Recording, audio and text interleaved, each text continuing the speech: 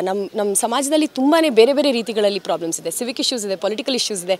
In fact ಈಗ election start ಆಗಿದೆ election ಬರ್ತಾ ಇದೆ ಹತ್ರ, ಅದಕ್ಕೋಸ್ಕರ ಸಾಕಷ್ಟು ನಮ್ಮ ನಮ್ಮ ಎಂಟೈರ್ ಕ್ಯಾಂಪೇನಿಂಗ್ ಇದೆಯಲ್ಲ ನಮ್ಮ entire government is election driven election ಬಂದಿದ ತಕ್ಷಣ ಏನಾದರೂ ಒಂದು ಕೆಲಸ ಸಮಾಜದಲ್ಲಿ ಶುರು ಮಾಡೋಕ್ಕೆ ಶು ಇದು ಮಾಡ್ತಾರೆ. ಮತ್ತೆ ವೋಟ್ಸ್ ಸಿಗುತ್ತೆ ಅಂತ ಹೊರಡ್ತಾರೆ. So I think there are a lot of problems in our society and ನನಗಂತೂ ಸುಮ್ಮನೆ ರೊಕ್ಕ ಇಲ್ಲ.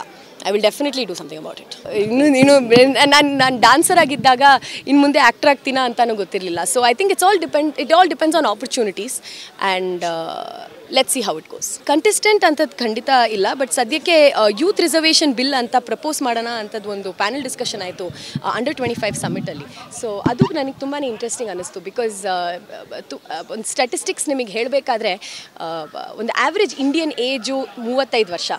ಆದರೆ ಒಂದು ಆವ್ರೇಜ್ ಪಾರ್ಲಿಮೆಂಟೇರಿಯನ್ ಇಲ್ಲ ಲೆಜಿಸ್ಲೇಟರ್ದು age fifty six years so ನಮ್ಮ ನಮ್ಮ ಇಂಡಿಯಾ ನಮ್ಮ ದೇಶ ಯಂಗ್ ಆಗ್ತಾ ಇದೆ ನಮ್ಮ ಗೌರ್ಮೆಂಟ್ ನಮ್ಮ ಪೊಲಿಟಿಷಿಯನ್ಸ್ ಓಲ್ಡ್ ಆಗ್ತಾ ಇದ್ದಾರೆ. So I think the focus on problems is becoming different ಹಾಗಾಗಿ ಯೂತ್ ಯುವ ಜನತೆ ಪೊಲಿಟಿಕ್ಸ್ಗೆ ಬರೋದು ತುಂಬಾ ಇಂಪಾರ್ಟೆಂಟ್ ಆಗುತ್ತೆ ನನ್ನ ಪ್ರಕಾರ. ಸೊ ಹಾಗೆ it it changes the focus on political issues so yes that is something that I support